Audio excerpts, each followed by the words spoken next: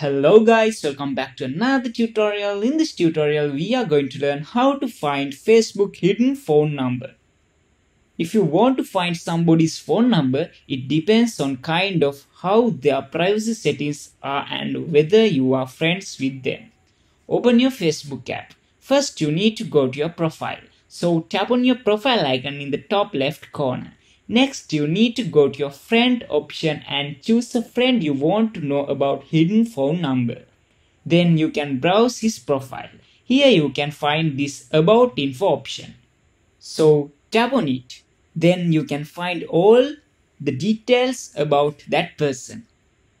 If I go to see their about info, if I scroll down, I won't be able to see their phone number on here.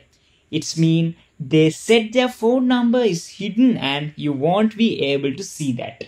But you can go back and here you can find this message option. Then open your messenger app. Here you can see this call and video call options in the top right corner.